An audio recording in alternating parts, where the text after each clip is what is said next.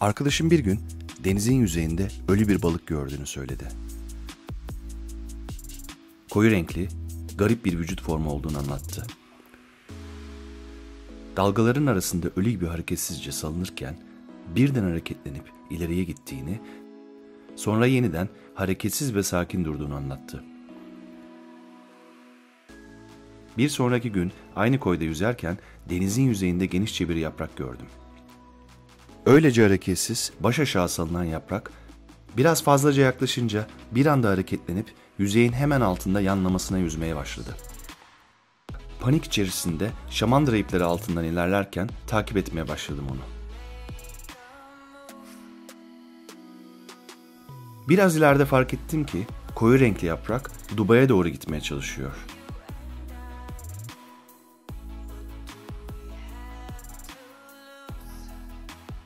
Dubai'ye varınca sakinleşip hemen altında minik minik hareketlerle yüzmeye başladı.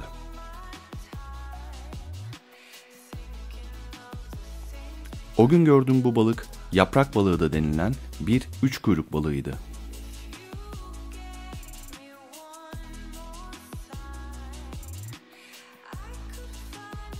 Yeni doğmuş üç kuyruk yavruları ve genç balıklar avcılardan korunmak için deniz üzerindeki yüzen cisimlerin altına saklanır. Bu yüzer cisimler bir duba, demirlemiş bir sandal, su üstünde yüzen deniz yosunları gibi herhangi bir şey olabilir.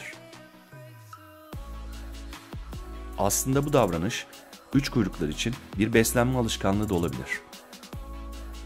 Deniz yüzeyinde yüzen cisimler birçok minik canlıyı çeker. Koyu renkleri ve yan durabilme yetenekleri sayesinde yüzen cisimlerin altında oldukça zor fark edilirler.